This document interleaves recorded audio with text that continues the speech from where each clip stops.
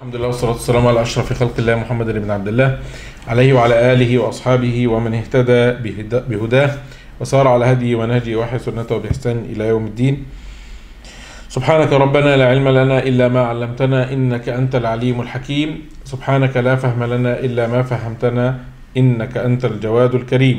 اللهم علمنا ما ينفعنا وانفعنا بما علمتنا وزدنا علما يا رب العالمين. ثم أما بعد السلام عليكم ورحمة الله وبركاته.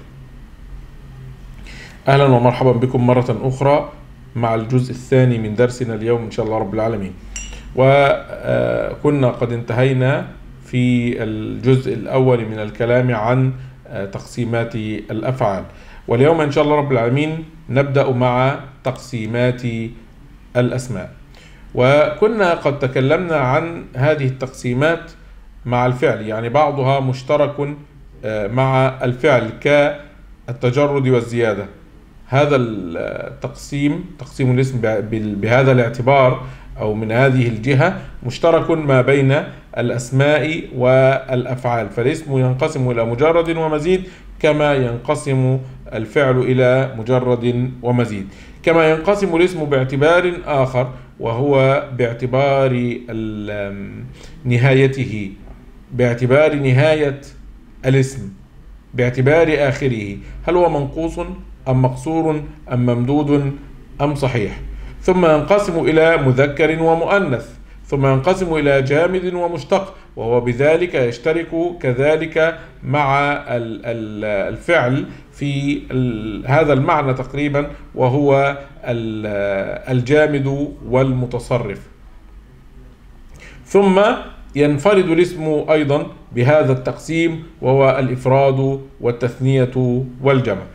دعونا نبدأ مع التقسيم الأول من حيث التجرد والزيادة قلنا إن الفعل ينقسم إلى مجرد ثلاثي ومجرد رباعي لا غير. طيب. والاسم لا. الاسم ينقسم إلى مجرد ثلاثي ومجرد رباعي ومجرد خماسي. يا أستاذ مجرد خماسي في الأسماء لماذا في الأفعال؟ قلت قبل قليل إن الفعل ثقيل. إن الفعل ثقيل. ولذلك فمجرده آخره أربعة. أما الاسم فقد يصل إلى الخمسة. طيب تعالوا نرى الأوزان التي يكون عليها الاسم. آه الثلاثي يكون على وزن فعال بتصريفاتها مع تصريفات الفاء والعين. يعني فتح الفاء مع السكون وفتح الفاء مع الكسر وفتح الفاء مع الفتح وفتح الفاء مع الضم. كسر الفاء مع السكون وكسر الفاء مع مع فتح العين وكسر مع كسر العين و هذا هذا للمكسور الفاء. ثم يأتي الضم ضم فسكون وضم ففتح وضم فضم وهكذا. ف نستطيع أن نقول إن للفعل الثلاثي عشرة أوزان إن للاسم الثلاثي إن للاسم الثلاثي عشرة أوزان. فعل كسهم وضخم وفعل كقمر فاعال قمار. طيب. وفعل ككتف وفاعل كعضد عضد عضد. وفعل كحمل وفع فع فعل كعنب وفعل كإبل وفعل كقفل وفعل كصرد وفعل كعنق. آه. طبعا السهم والقمر الكتف معروف والعضد معروف. أظن هنا سرد السرد اسم آه لطائر من الطيور. معروف. السرد نوع من الطيور أو اسم لطائر. طيب رباعي المجرد له أربعة أوزان. له أو أوزان الرباعي في الأسماء أربعة. فعلل كجعفر. طيب وفعلل ك أو فعلل فعلل كزبرج وفعلل كبرث وفعل كقمطر فعل قمطر آه أصله فع فعل بلامين آه لكن لكن اللامين هنا أضغمتا لأنهما ها متجانستان. فعل قمطر. والوزن الخامس فعلل كدرهم. إذا الاسم الربا الاسم آه الرباعي له خمسة أوزان. فعلل فعلل فعلل فعل وفعلل. هذه الأوزان الخمسة للرباعي. الخماسي له أيضا أربعة أوزان. فعلل سفرجل. آه ثلاث لامات. في فاع ساف فعل سفر جل آه لام ساكنة أدغمت في اللام. سفر جل سفر جاء الريم الراء والجيم. لام واللام أدغمت اللام في اللام. طيب. فعلل سفرجل. فعلل فعل فعلل فعلل. آه. كجحمرش جحمرش. طيب. وفعلل لا فع فعلل. قرطع قرطعب قرطعب فعلل. آه بثلاث بثلاث لمات قرطعب فعلل طيب. الوزن الرابع وهو فعلل قزعمل. آه فعلل قزعمل. آه هذه هي أوزان الخماسي. وكما ترون آه قزعمل وقرطعب وجحمرش هذه أوزان من الأوزان آه قليلة الاستعمال. طيب. تعالوا نرى الزيادة. كيف تكون الزيادة؟ آه. قال أوزان أوزانه أو أوزان المزيد يعني. تبلغ ثلاثمائة وثمانية. كم؟ ثلاثمائة وثمانية. نعم. وقد تزيد. آه. لأن منها ما هو آه مهمل وغير مست أو ما أهمل ومنها ما وضع ولم يستعمل أصلا. طيب. لا يتجاوز بالزيادة سبعة أحرف كما قلنا في في أوزان الفعل عندما قلنا إن أكثر ما يصل إليه الفعل بعد زيادة ها ستة أحرف ولكن الاسم يصل إلى سبعة أحرف ولا يتجاوز السبعة. آه. مزيد ثلاثي إشهيباب. آه. إشهيباب. ومزيد رباعي إحرنجام. مصدر. إشهيبب إشهاب إشهيباب. وحرنجم. إحرنجام. آه. ومزيد الخماسي عضرفوت. عضرفوت. جميل جدا. وانتهى الكلام. يكفي يكفينا هذا في الكلام عن عن المجرد والمزيد. إذا فهمنا أو إذا عرفنا هذه الأوزان التي أمامنا من الثلاثي والرباعي والخماسي فإن ما عداها فهو مزيد. طيب. دعونا ننتقل إلى تقسيم جديد وهو التقسيم من حيث آخر آخر من حيث آخر الكلمة. صنوبر جميل صح. ما شكل هذا الآخر؟ مم. طيب. حتى نبين الأمر هذا الآخر إما أن يكون صحيحا ما معنى صحيح؟ يعني أن يكون الآخر خاليا من حرف من حروف العلة. جميل. وإما أن يكون الآخر معتل الآخر بالياء. وإما أن يكون معتل الآخر بالألف. ولا يكون آخر الاسم المعرب واوا. لا يكون آخر الاسم المعرب ها واوا.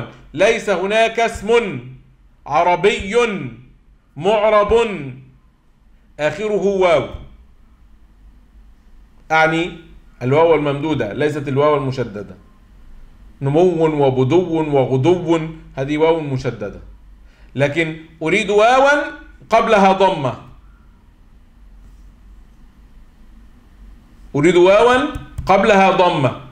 كما في المنتهي بالياء آخره ياء قبلها كسرة. قاضي داعي الساعي الراعي المصطفي. المقصور ألف قبلها فتحة. طيب هل هناك اسم عربي معرب آخره؟ واو لا. يا أستاذ هو هو هذا ضمير هذا مبني. أنا أقول معرب. آه يا أستاذ يدعو يدعو هذا فعل. طيب وإذا سمينا شخصا يدعو آه اسم فعل نقل إلى الاسمية. لكن هل عندي فعل هل عندي اسم آخره واو؟ لا. بهذا الشكل. واو مفردة يعني ليست مشددة قبلها ضمة موجود؟ نعم أستاذ. قمندو وسمندو وبرندو يا أستاذ هذه ليست عربية. هذه ليست عربية. إذا أقول ليس هناك كلمة ليس هناك اسم معرب عربي آخره واو مفردة قبلها ضمة إذا آخر الكلمة إما أن يكون صحيحا يعني ليس فيه حرف من حروف العلة وإما أن يكون منقوصا يعني آخره ياء وإما أن يكون مقصورا يعني آخره ألف وإما أن يكون ممدودا يعني آخره ألف بعدها همزة. تعال. إذا فهمنا هذا التقييس تعال لنج... لنشرح هذا. صحيح. الصحيح ما اسم معرب آخره لي معرب آخره ليس كالمنقوص والمقصور والممدود. ما معنى هذا الكلام؟ يعني ليس معتلا ولا شبيها بالمعتل. شبيه بالمعتل. ما معنى شبيه بالمعتل؟ آه يعني ال ال ال الاسم المنتهي بالالف الممدودة هذا آه يشبه عند الصرفيين الفعل المعتل أو الاسم المعتل. لماذا يشبه المعتل؟ لأنه فيه مشاكل عند التثنية وعند الجمع وعند التصغير وعند النسب. هل تبقى الهمزة أم تقلب واوا أم تقلب ياء؟ أم هل ترد إلى أصلها أم تقلب مطلقا؟ أم ماذا؟ آه ففيه بعض المشكلات. لذلك آه قسموه قسما قائما براسه فالصحيح ما كان الحرف الأخير منه صحيحا ليس منقوصا ولا مقصورا ولا ممدودا مثل كلمة قلم ورجل. أما المنقوص الاسم المنقوص اسم معرب آخره ياء لازمة مكسور ما قبلها. داعي الداعي. الساعي المصطفي المهتدي المستفتي. آه منقوص هذا. لماذا اسمه منقوص؟ لماذا نسميه منقوصا يا أستاذ؟ آه نسميه منقوصا لأنه إذا كان نكرة تحذف منه هذه الياء. يعني داعي هذه نكرة. الداعي صح لكن داع آه فحذفنا الياء. حذفنا الياء. فصار الاسم ها منقوصا نقص حرفا. طيب. المقصور اسم معرب آخره ألف لازمة. آه ولا يكون قبلها إلا مفتوحا. لا يكون ما قبلها إلا مفتوحا مثل هدى وعصى وفتى. لماذا مقصور؟ آه القصر هنا ضد المد ليس ممدودا. كيف الممدود؟ انظر الممدود صحراء بيداء صح نجلاء شيماء علياء. آه، كل هذا اسم ممدود سماء بناء قوباء علباء. آه، كلها أسماء ممدودة. آه. الممدود اسم معرب آخره همزة قبلها ألف زائدة ولا تكون إلا زائدة. ولا تكون إلا زائدة. فإن لم تكن زائدة فهو ليس داخلا معنا.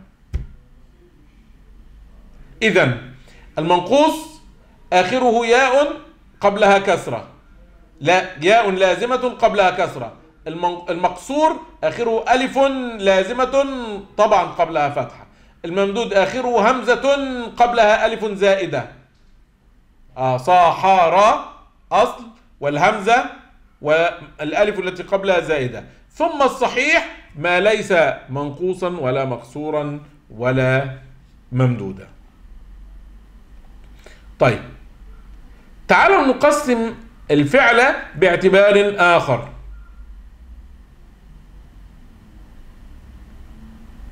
الفعل آه عفوا تعالوا نقسم الاسم باعتبار آخر.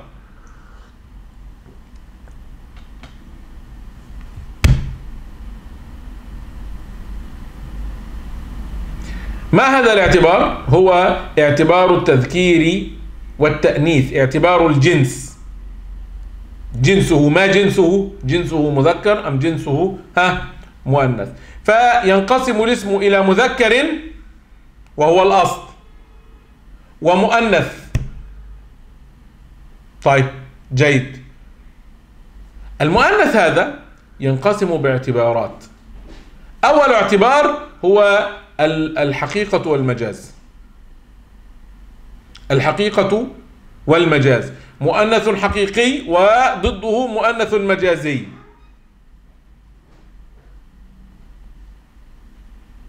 طيب ما ما المؤنث الحقيقي؟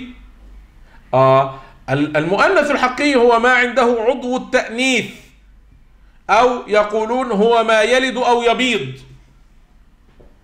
آه. طيب فاطمة هند رائدة. طيب.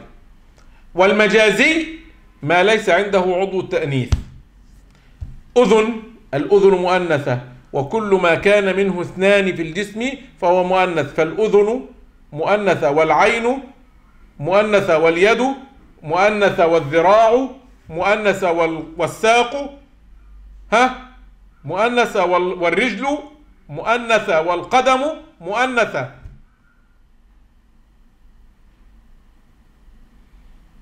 طيب جميل.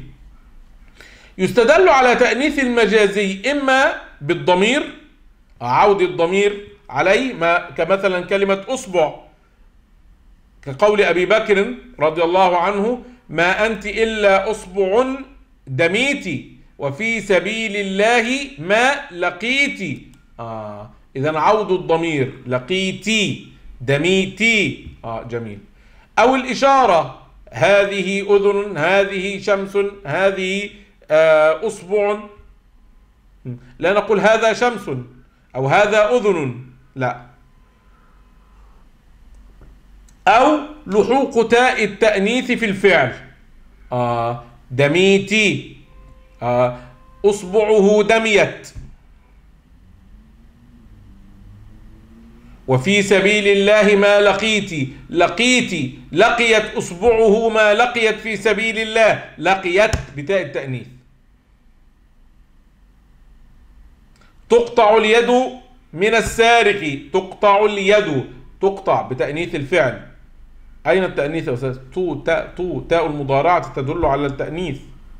التاء في المضارع للمؤنث إما للمخاطب المذكر أنت أو للمو... للغائب المؤنث. أنت. آه هي عفوا. طيب. طيب. تعالوا لنقسم الفعل باعتبار آخر أو من جهة أخرى. هذا التقسيم من جهة لفظه. تقسيم من جهة اللفظ. آه مؤنث من جهة لفظه ومعناه. طيب. فإما أن يكون المؤنث مؤنثا لفظيا وضع لمذكر وفيه علامة التأنيث. هو لفظ لفظه مؤنث لكن معناه مذكر. طلحة بالتاء. طلحة وأسامة ومعاوية وعبيدة وزكرياء. آه زكرياء بالألف الممدودة. والكفرة بالألف المقصورة. آه ماذا يريد أن يقول؟ يعني قد يكون المؤنث. قد يكون المؤنث. ها قد يكون المؤنث بعلامة التأنيث التاء أو بألف التأنيث الممدودة أو بألف التأنيث المقصورة. ومع ذلك فاللفظ مؤنث والمعنى مذكر. طيب. مؤنث مؤنث معنوي. معناه مؤنث لكنه لا يحمل علامة التأنيث مريم هند زينب كوثر دعد رغد آه. كل هذه الأسماء أسماء مؤنثة ولكنها لا تحمل علامة التأنيث طيب مؤنث لفظي ومعنوي. هذا جمع الحسنيين. هو مؤنث في المعنى ومؤنث في اللفظ. معناه مؤنث وفيه علامة التأنيث. آه. خديجة بالتاء. ليلى بالألف. ها؟ بالألف المقصورة. عاشوراء. آه. ليلة عاشوراء. عاشوراء بالألف الممدودة. طيب. ما علامات التأنيث؟ علامات التأنيث. تعال. علامة التأنيث. قلنا ثلاثة. تاء التأنيث تاء المربوطة أو يسمونها التاء المتحركة والتاء الساكنة تاء التأنيث المتحركة والتاء الساكنة. طيب. والألف المقصورة والألف الممدودة. تعال. التاء التاء تكون ساكنة فقط في آخر المضارع. لعبت وذهبت ودخلت وخرجت وفهمت وعرفت وكل هذا. طيب جميل. وتكون متحركة في أول المضارع. تقوم وتجلس وتذهب وترجع وتلعب. وتكون متحركة في آخر الاسم. جاءت عائشة ورأيت عائشة وسلمت على عائشة. تا أيضا. هي متحركة. على عائشة نعم. ممنوع من الصرف. ممنوع من الصرف. طيب جميل.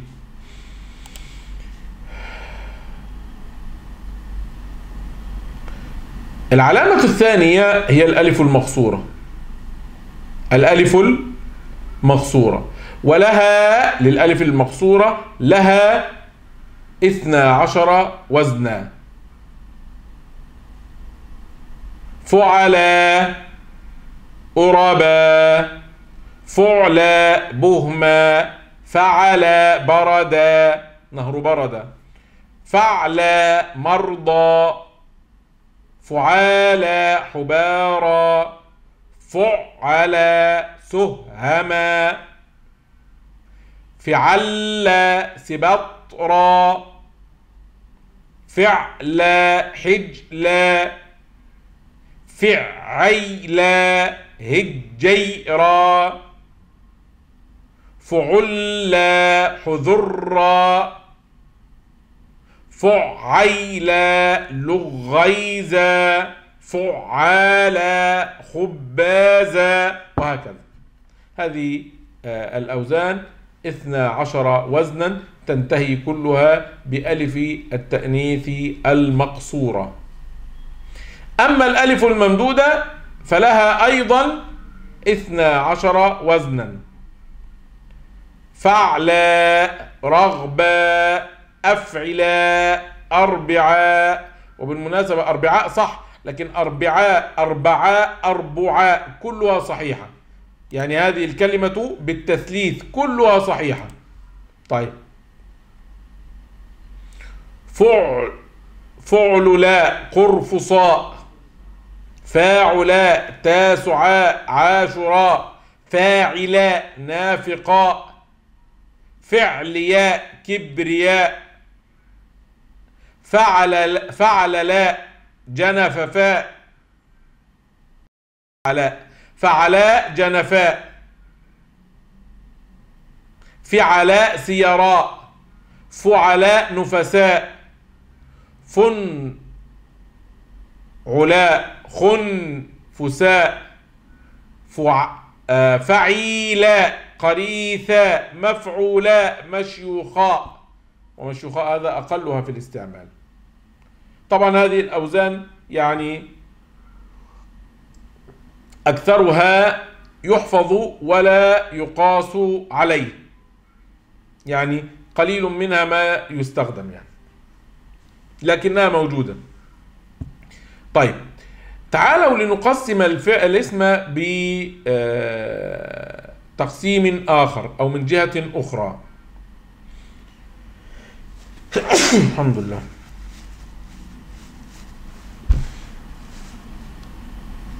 طيب تعالوا لنقسم ال ال الاسم من حيث الجمود والاشتقاق. اسم جامد واسم مشتق. طيب ما معنى الجمود والاشتقاق؟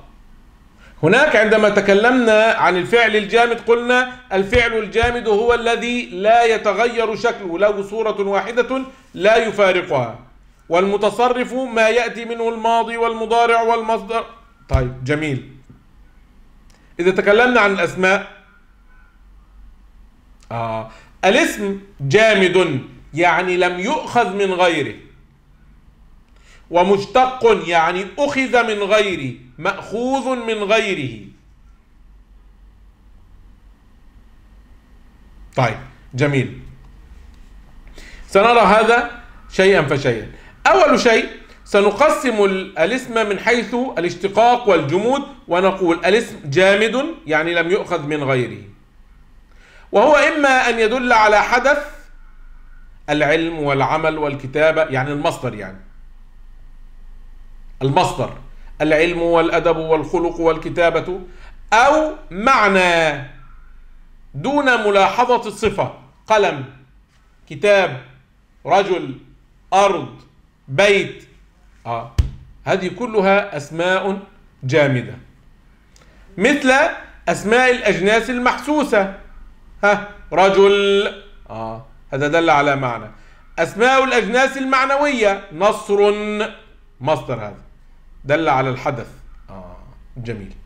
والمشتق ما أخذ من غيره وفي نفس الوقت دل على ذات مع ملاحظة الصفة. عالم يدل على شخص اتصف بصفة العلم. آه فعالم مأخوذ من العلم من المصدر يعني. على ما يقول البصريون أو مأخوذ من علم على ما يقول الكوفيون. طيب. يعني طبعا هذه قضية مشهورة آه، أعني الخلاف في أصل المشتقات صح؟ جميل صح. أعني الخلاف في أصل المشتقات. هل المصدر هو أصل المشتقات أم الفعل هو أصل المشتقات؟ هناك ثلاثة آراء في المسألة. آه، البصريون يقولون المصدر أصل المشتقات. والكوفيون يقولون الفعل أصل المشتقات.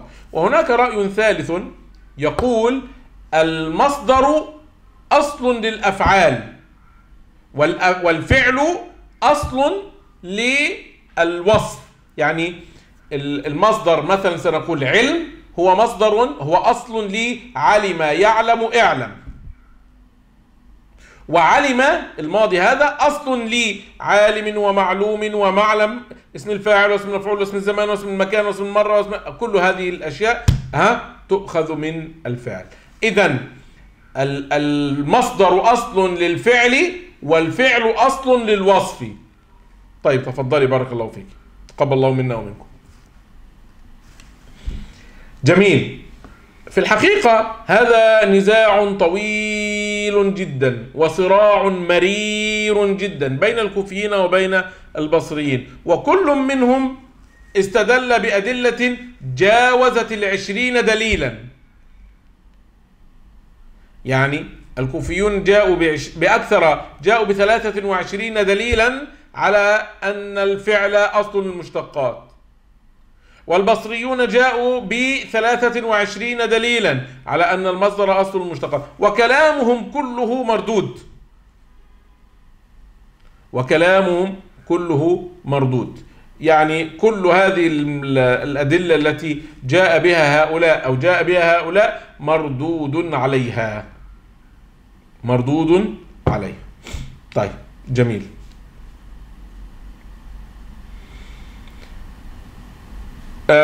مشتق ما أخذ من غيره ودل على ذات مع ملاحظة صفة. طيب تعالوا نتكلم عن هذه القضية. هذا كلام آه، مهم جدا. هي مسألة الاشتقاق. مسألة الاشتقاق. آه، الاشتقاق ينقسم إلى صغير وكبير وأكبر. ما معنى صغير وكبير وأكبر؟ الاشتقاق الصغير هو أن تتحد الكلمتان حروفا وترتيبا وأن يكون بينها تناسب في المعنى. آه عالم من العلم. هذا اشتقاق. فعل مأخوذ من المصدر والمضارع مأخوذ من المصدر واسم الفاعل مأخوذ من المصدر. هذا اسمه اشتقاق صغير. اشتقاق صغير. النوع الثاني وهو الاشتقاق الكبير. الاشتقاق الكبير وتتحد فيه كلمتان حروفا لا ترتيبا. آه جابذا جاذب آه جبذ وجذب نفس نفس الحروف لكن الترتيب مختلف. آه وهذا الذي سميناه قبل ذلك ماذا سميناه؟ ها ماذا سميناه؟ سميناه القلب المكاني. تكلمنا عنه عندما تكلمنا عن الميزان الصرفي. طيب جميل. الاشتقاق الأكبر هو أن تتحد الكلمتان أو أكثر في حروفهما فقط. تتحد فيه كلمتان في أكثر حروفها. آه، يعني الكلمة فيها بعض الحروف المشتركة وبعض الحروف المختلفة. نعق ونهق. النعيق صوت الغراب والنهيق صوت الحمار. آه فهذا صوت وهذا صوت والنون والنون النون والقاف والنون والقاف مشتركتان. لكن ال ال العين في صوت الغراب آه، فيها قوة. والنهي والهاء والهاء في صوت الحمار تماثل صوت الحمار. آه فاتحاد النون والقاف والنون والقاف يقرب الكلمتين من بعضهما أنهما آه تدلان على اسم الصوت. طيب. إذا تكلمنا عن المصدر ماذا يشتق من المصدر؟ ماذا يشتق من المصدر؟ عندي مصدر. ماذا نشتق من المصدر؟ نشتق منه عشرة أشياء الماضي والمضارع والأمر اسم الفاعل اسم المفعول الصفة المشبهة واسم الزمان واسم المكان واسم الآلة واسم التفضيل. هذه عشرة أشياء. هذا كل شيء؟ لا. قد يلحق بهذه المشتقات المنسوب والمصغر لأنه في الحقيقة هذا ليس اشتقاقا وإنما المنسوب آه، أضيفت عليه لاحقة لتؤدي معنى النسبة والمصغر حول إلى صيغة معينة ليدل على التصغير. فهو ليس اشتقاقا بمعنى الاشتقاق ولكن يلحق بالاشتقاق واضح؟ إذا هذه هي المشتقات عشرة أشياء تشتق من المصدر على اعتبار أن المصدر أصل المشتقات يشتق منه عشرة أشياء الماضي والمضارع والأمر اسم الفاعل واسم المفعول والصفة المشبهة اسم الزمان واسم المكان واسم الآلة واسم التفضيل. يلحق بهما المنسوب والمصغر. طيب جميل. تعالوا ننتقل سريعا إلى تقسيم آخر وهو تقسيم الاسم من حيث الإفراد والتثنية والجمع.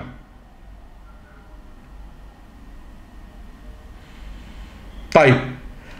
المفرد ما دل على واحد ليس مثنى ولا مجموعة رجل امرأة كتاب. المثنى آه هنا الكلام. المثنى ما دل على اثنين أو اثنتين بزيادة ألف ونون أو ياء ونون. رجلان رجلين طالبتان طالبتين. طيب. كيف تقع التثنية؟ لا تعالى نحن قسمنا الاسم باعتبار آخره بما أننا نقول المثنى ما دل على أكثر من اثنين أو اثنتين بزيادة في آخره بزيادة ألف ونون في آخره. بما أننا نتكلم عن الآخر فلا بد أن تكون هناك علاقة مع هذا الآخر. لا بد أن ننظر إلى هذا الآخر. هل هذا الآخر صحيح أم هذا الآخر منقوص أم مقصور أم ممدود. آه. تعال. الصحيح تزاد الألف والنون أو الياء والنون بحسب الإعراب رفعا ورفعا أو نصبا وجرا فقط. رجلان رجلين. امرأتان امرأتين. وانتهى الكلام. المنقوص المنقوص في التثنية نحذف الياء. قاضي. آها. نحذف الياء. الياء موجودة. المنقوص آه. المنقوص محذوف الياء. ترد الياء. ترد الياء. محذوف الياء. قاض داع ساع. نرد الياء. طب وإن كانت الياء موجودة؟ تبقى. قاض قاضيان. القاضي القاضيان. نفس الشيء. إذا ياء المنقوص تبقى إن كانت موجودة في التثنية وترد إن كانت محذوفة. طيب المقصور مقصور ما معنى مقصور؟ المقصور آخره ها آخره ألف. آه الاسم المعرب الذي آخره ألف مفتوح ما قبلها. مقصور إذا كانت ألفه أكثر من ثلاثة تقلب ياء حبلى حبليان. ليلى ليليان. أخرى أخريان. طيب وإن كانت إن كان المقصور وألفه مبدلة من ياء. آه كان المقصور ثلاثي وألفه مبدلة من الياء يعني ألفه أصلها الياء. ترد الألف إلى أصلها ترد إلى الياء. فتى فتيان. طيب وإن كانت وإن كان المقصور ألفه منقلبة عن واو يعني أصل الألف الواو ترد إلى أصلها ترد إلى الواو. عصا عصوان. هدى هديان. رضا رضوان. آه بحسب الألف. الألف أصلها واو ترد إلى الواو. أصلها ياء ترد إلى ها الياء. هذا إذا كان المقصور ثلاثيا إن كانت الألف ثالثة. أما إن كانت فوق الثلاثة فإنها تقلب ياء مطلقا. طيب. تعالوا نرى الممدود. الممدود قلنا الممدود هو الاسم المعرب الذي آخره همزة قبلها ألف زائدة. صحراء بناء سماء علباء قراء. لماذا كل هذه الأمثلة؟ ستعرف الآن. آه همزة الموصول همزة الممدود لها أنواع. ما معنى لها أنواع؟ يعني إما أن تكون همزة أصلية يعني ما معنى؟ يعني هي أصل في بنية الكلمة. أصل في بنية الفعل. آه هل تذكرون؟ عندما كنا نتكلم عن أقسام الفعل الصحيح وقلنا المهموز آه ما كان أحد أصوله همزة. قرأ وبدأ وملأ. طيب قراء على وزن فعال من قرأ. آه قراء آه إذا هذه الهمزة قراء فعال ألف زائدة. الهمزة الهمزة أصلية. الهمزة أصلية. آه. تبقى. تبقى عند التثنية. قراء. قراءان. طيب. إن كانت همزته للتأنيث. ما معنى للتأنيث؟ آه. يعني حمر الفعل والوصف منه أحمر للمذكر وحمراء للمؤنث. آه. فهذه الهمزة همزة التأنيث. آه فتقلب واوا. فنقول حمراوان نجلاوان طيب. إن كانت همزته منقلبة عن أصل. إن كانت همزته منقلبة عن أصل يعني لها أصل سواء كان هذا الأصل واوا أو ياء. واو. آه مثلا سماء. سماء من سما يسمو سماو أصلها سماو. سماو تطرفت الواو بعد ألف زائدة فقلبت همزة فصارت سماء. بناي أصلها بنى يبني بناي فعال. تطرفت الياء بعد ألف زائدة فقلبت همزة. هنا ماذا نفعل؟ هنا يجوز لك التصحيح يعني إبقاء الهمزة كما هي فتقول سماءان وبناءان ويجوز لك أن تقلب واوا فتقول سماوان وبناوان. آه كساء كساوان وكساءان وكساوان. آه كساء من كسى يكسو كساو. آه أصلها كساو. طيب جميل. إن كانت همزته للإلحاق. ما معنى الإلحاق؟ تكلمنا عن الإلحاق في الأفعال قبل قليل. آه الفعل علب وزيدت. الألف والهمزة عليه ها؟ ليلحق بهذا الوزن. علباء. آه والعلباء مرض في في في الوريد. طيب. أو قوباء وهو مرض في الشعر. نسأل الله السلامة آه إن كانت إن كانت الهمزة مزيدة للإلحاق فيجوز القلب أو التصحيح. كذلك. آه علباوان وعلباءان. يا أستاذ ما الفرق بين التي آه لها بين المنقلبة عن أصل والمزيدة للإلحاق؟ في كلا الموضعين في كلا الموضعين يجوز لك التصحيح ويجوز لك القلب واوا. لكن فيما كان مبدلا عن أصل الراجح فيه التصحيح ويمكن القلب واوا. أما فيما كان مزيدا للإلحاق فالمرجح فيه الراجح فيه القلب واوا بينما التصحيح فيه جائز.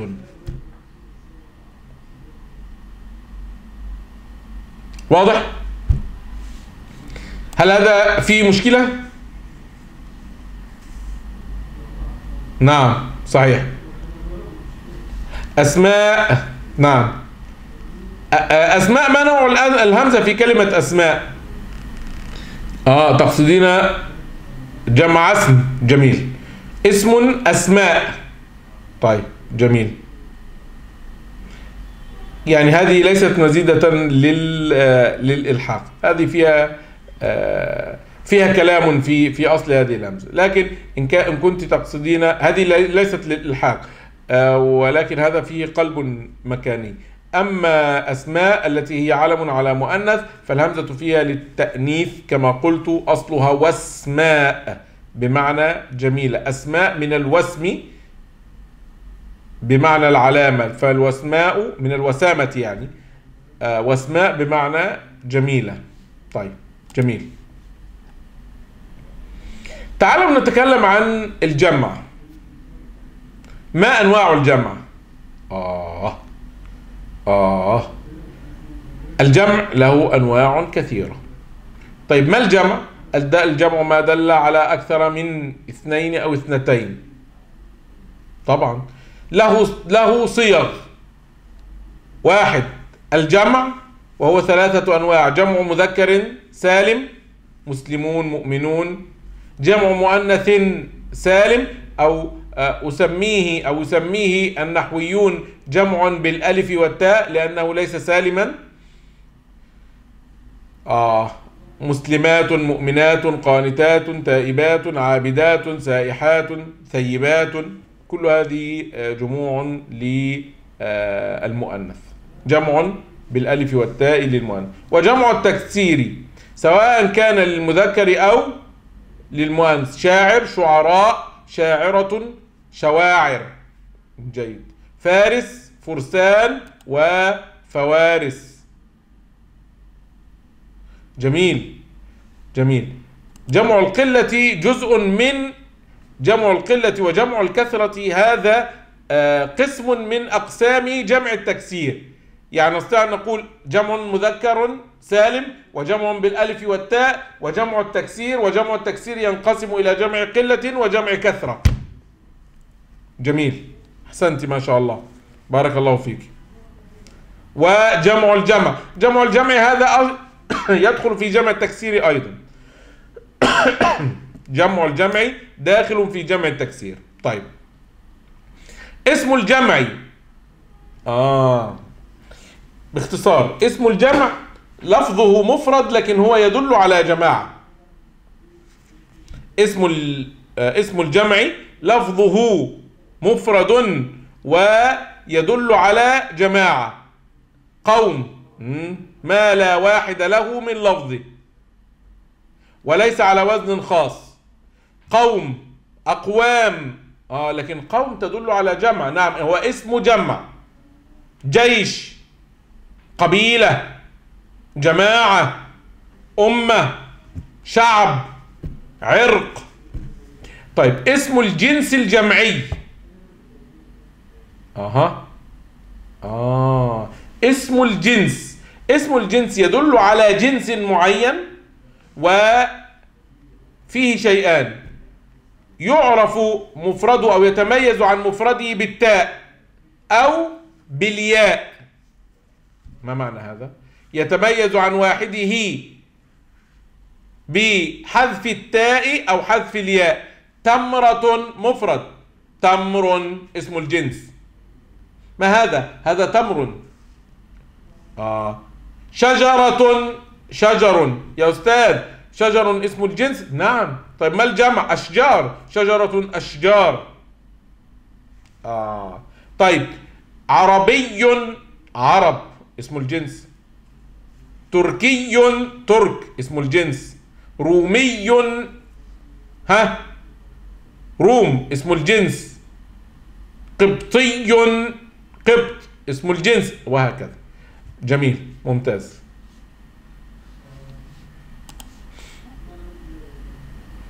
اسم جنس إفرادي. آه هو يدل على الجنس لكن مفرد.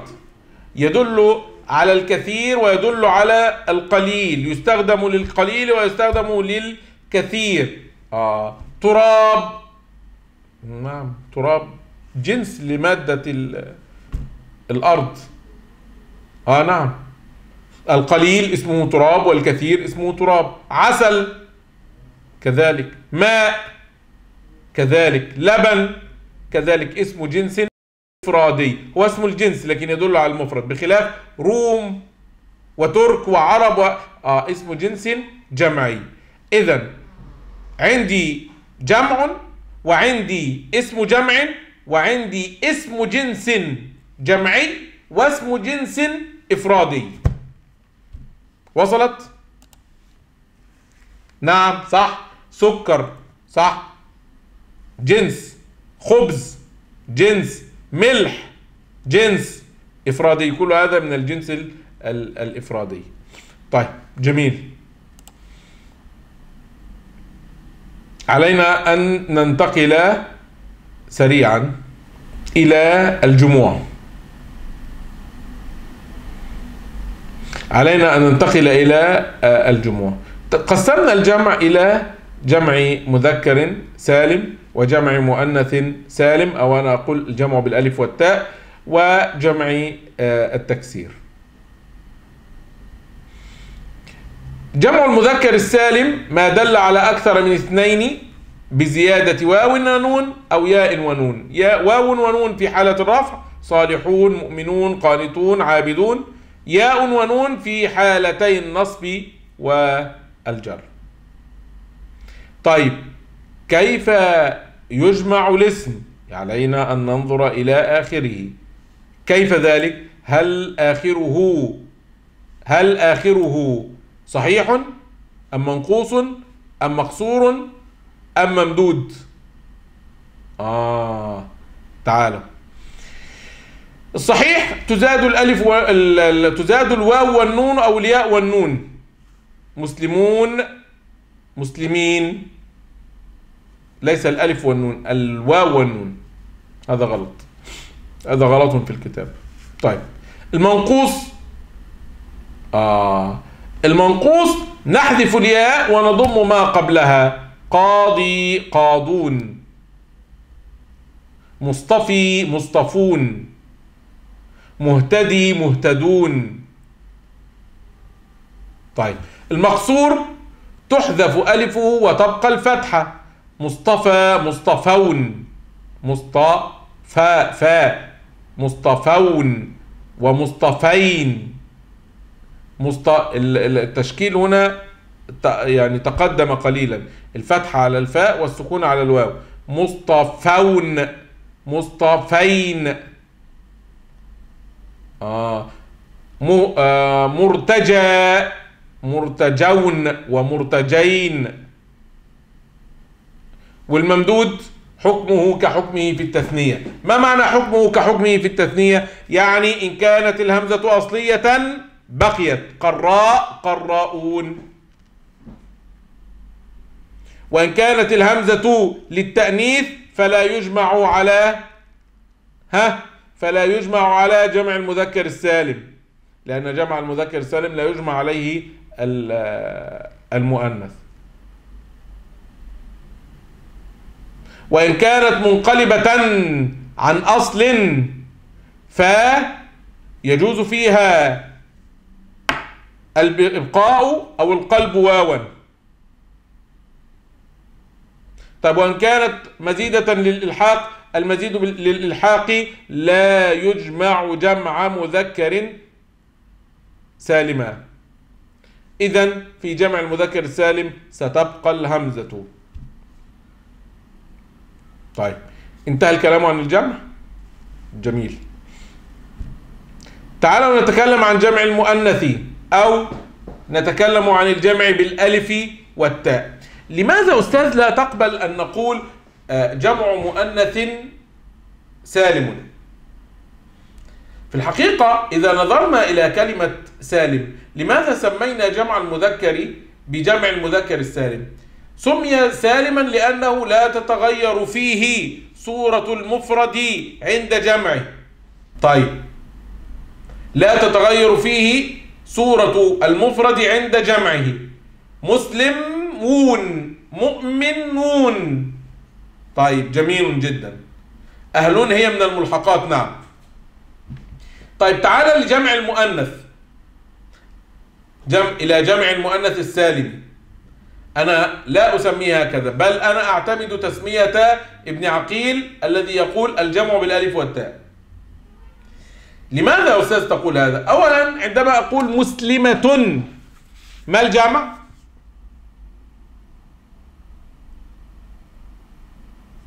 ما الجمع ما جمع مسلمة؟ مسلمات. وأين تاء التأنيث الأولى؟ مسلمة. حذفت التاء. حذفت التاء. إذا كسرت صورة المفرد. إذا هو ليس سالما. مؤمنة. مؤمنات. لا نقول مسلمتات ولا مؤمنتات. لا لا نقول هذا. مم. جميل. الشيء الثاني. جمع المذكر السالم لا يجمع عليه إلا ما كان مذكرا مستوفيا للشروط. أن يكون علما مذكرا أو صفة لمذكر وأن يكون خاليا من علامة التأنيث وأن ها؟ أن يكون للعاقل و... طيب جميل. تعالوا. مسلمة مسلمات. جمع مؤنث صح؟ صحيح. رجال رجالات. جمع على رجال مذكر ومع ذلك جمعت على صورة جمع المؤنث. سماء سماءات أو سماوات. الله أكبر. يعني جمع عليه العاقل وغير العاقل والمذكر والمؤنث. فكيف نقول جمع المؤنث السالم؟ كيف نقول هذا؟ هو ليس خاصا بالمؤنث وليس سالما. إذا نظرنا إلى السلامة فهو مكسور لأن تاء التأنيث حذفت من مفرده. لأن مسلمات مفردها, مفردها مسلمة. ومؤنث سقطت لأنه يجمع عليه المؤنث والمذكر والعاقل وغير العاقل. آه. طيب أستاذ ما الصحيح؟ ماذا تريدنا أن نقول؟ أنا لا أريد. هذا كلام الصرفيين وكلام النحويين. آه اسمه الجمع بالألف والتاء.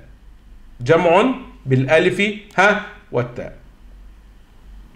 الجمع بالألف والتاء ما دل على أكثر من اثنتين بزيادة ألف وتاء على مفرده فاطم آت. أين التاء؟ ليس على مفرده على مفرده بعد حذف تاء التأنيث. آه طيب. كيفية جمع الأسماء جمع مؤنث.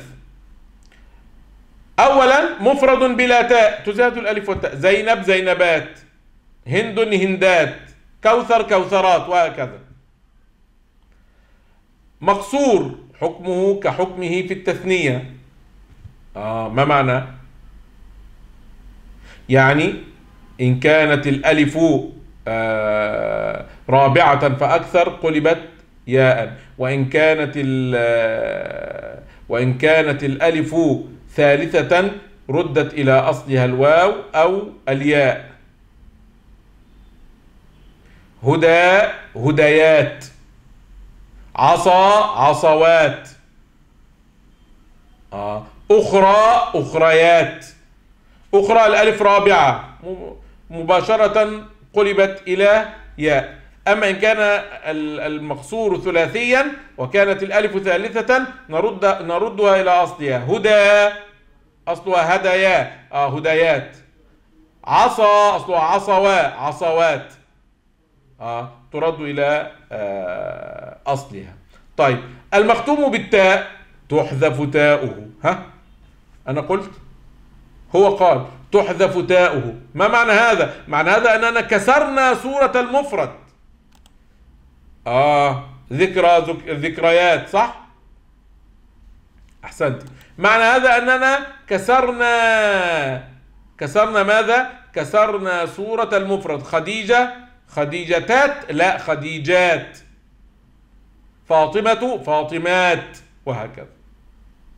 طيب مؤنث سالم العين ساكنها. يعني عين الكلمة ساكنة وهذه العين حرف صحيح. يعني ليس حرف علة. سالم العين يعني عينه سالمة ليست معتلة وساكنها. ختم بتاء أم لا؟ يجوز فيه الفتح فتح العين والتسكين وإتباع العين للفاء. آه. هند الفاء مكسورة. فنقول هن هندات بالفتح وهندات بالسكون وهندات بالإتباع. كلها صحيحة. هندا هندات وهندات وهندات. كلها صحيحة. طيب إن كانت الفاء مفتوحة تعين الإتباع. يجب الإتباع. لا يجوز فيها التسكين. لا نقول دعدات نقول دعدات طيب إن كانت لامه آه إن كانت لام لامه حرف علة يعني مضموم الفاء دمية. إن كانت اللام ياء وهو مضموم الفاء. دم يه أو لامه مكس واو مكسورة. وفاؤه مكسورة يعني. فاء مكسورة ولامه ها واو. آه. ذر و امتنع الإتباع. آه. دمية دما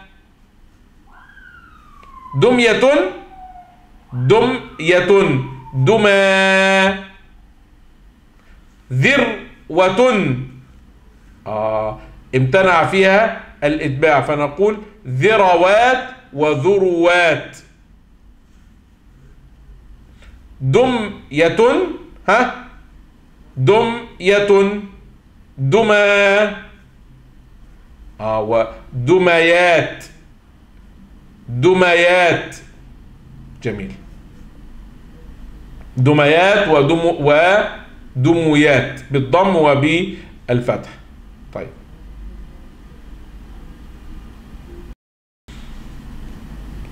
لا تتغير حالة العين في الجمع في الصفة. ضخمة. آه. كل هذه أوصاف. ضخمة. ضخم ضخمات. لا نقول ضخمات. الرباعي زينب. زينبات. محتل معتل العين. معتل العين. حور حورات. مضاعف العين جنة. جنة. آه. جنة. آه العين مضاعفة. ما معنى مضاعفة؟ جننا أصلها جننا العين واللام نفس الشيء. آه لا نقول تبقى العين. نقول جنات. متحرك العين. شجرة. شجرات لا تسكن. طيب جميل. دعونا ننتقل إلى جمع التكسير سريعا. جمع التكسير قلنا ما دل على أكثر من اثنين أو اثنتين مع تغير في صورة مفرده لأن جمع التكسير يكون للمذكر ويكون للمؤنث. جمع المذكر السالم يكون لل ها؟ للمذكر. جمع المؤنث كما قلنا أو جمع بالألف والتاء كما قلنا يكون للعاقل ولغير العاقل وللمذكر وللمؤنث. جمع التكسير كذلك يكون للمذكر والمؤنث. طيب جمع التكسير جمع التكسير له نوعان. جمع القلة. قلة يعني يدل على العدد من ثلاثة إلى عشرة.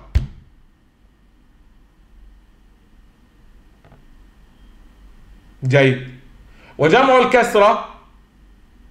جمع الكسرة يدل على ما فوق العشرة. طب أستاذ كيف نعرف هذا؟ جمع القلة أربعة أوزان. قلنا هذا في اللقاء السابق. أفعل وأفعال وأفعلة وفعلة. أفعل أذرع أرجل. أفعال أثواب أحمال أثقال. أفعلة أرغفة أفئدة. فعلة فتية. أها جميل. هذه الأوزان الأربعة تدل على جمع القلة. آه طيب وجموع الكثرة؟ يا جموع الكثرة فوق العشرين. اثنان وعشرون وزنا. فعل حمر جمع أحمر يعني. أحمر أفعل فعل. أحمر حمر. فعل قضيب قضب. فعل غرف غرفة غرف. فعل حجة حجج. على أن تأجرني ثم... على أن تأجرني ثمانية حجج. نعم. فعلة. آه قضاة. أصلها قضوة. قضوة. وقلبت الواو ها ألفا لتطرفها وانفتاح ما قبلها.